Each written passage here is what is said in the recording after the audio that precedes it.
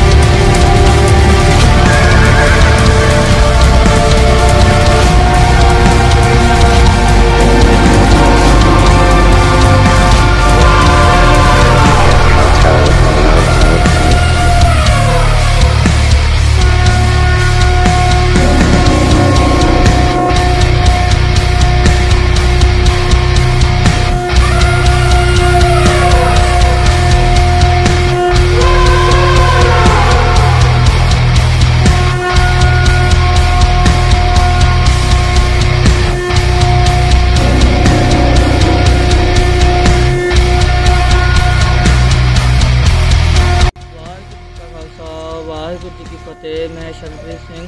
ਸ੍ਰੀ ਗੁਰੂ ਅਰਜਨ ਦੇਵ ਜੀ, ਗੱਤਕਾ ਖਾੜਾ ਉਲਮੋ ਟਾਂਡਾ, ਉਸਤਾਦ ਸਰਦਾਰ ਜਸਵਿੰਦਰ ਸਿੰਘ ਜੀ ਟਾਂਡਾ। ਮੈਂ ਆਪ ਸਭ ਦੇ ਸਹਿਯੋਗ ਨਾਲ ਆਨਲਾਈਨ ਗੱਤਕਾ ਕੰਪੀਟੀਸ਼ਨ ਦੇ ਫਾਈਨਲ ਰਾਉਂਡ ਵਿੱਚ ਪਹੁੰਚ ਗਿਆ ਹਾਂ। ਜੇਕਰ ਤੁਹਾਨੂੰ ਮੇਰੀ ਵੀਡੀਓ ਚੰਗੀ ਲੱਗਦੀ ਹੈ ਤਾਂ ਵੀਡੀਓ ਨੂੰ ਲਾਈਕ ਕਮੈਂਟ ਸ਼ੇਅਰ ਜ਼ਰੂਰ ਕਰੋ ਤੇ ਮੈਨੂੰ ਵੋਟ ਕਰੋ। ਧੰਨਵਾਦ। ਵਾਹਿਗੁਰੂ ਜੀ ਕਾ ਖਾਲਸਾ, ਵਾਹਿਗੁਰੂ ਜੀ ਕੀ ਫਤਿਹ।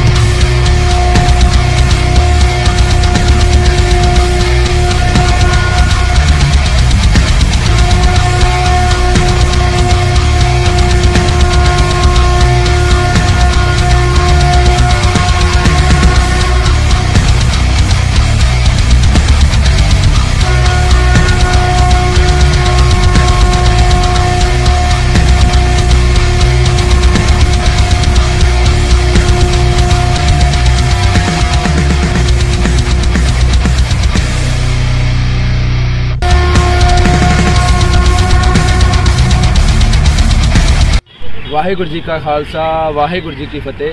ਦਾਸ ਦਾ ਨਾਮ ਸਰਬਜੋਤ ਸਿੰਘ, ਕਿਰਪਾਨ ਕਿਰਤ ਜੰਗਫੜ ਗਤਕਾ ਖੜਾ ਦਲ ਬਾਬਾ ਬਿਧੀ ਚੰਦ ਜੀ ਦਿੱਲੀ ਤੋਂ। ਮੇਰੇ ਉਸਤਾਦ ਜੀ ਦਾ ਨਾਮ ਨਰਿੰਦਰ ਸਿੰਘ ਹੈ ਤੇ ਮੈਂ ਅੱਜ ਆਪ ਜੀ ਦੇ ਮੂਹਰੇ ਬਰਛਾ ਫਰਾਈ ਕਰਨ ਜਾ ਰਿਹਾ ਹਾਂ। ਜੇ ਆਪ ਜੀ ਨੂੰ ਮੇਰੀ ਪਰਫਾਰਮੈਂਸ ਚੰਗੀ ਲੱਗਦੀ ਹੈ, ਤੇ ਪਲੀਜ਼ ਚੈਨਲ ਨੂੰ ਸਬਸਕ੍ਰਾਈਬ ਕਰਕੇ ਮੈਨੂੰ ਵੋਟ ਕਰਨ ਦੀ ਕਿਰਪਾਲਤਾ ਕਰੋ। ਵਾਹਿਗੁਰੂ ਜੀ ਕਾ ਖਾਲਸਾ, ਵਾਹਿਗੁਰੂ ਜੀ ਕੀ ਫਤਿਹ।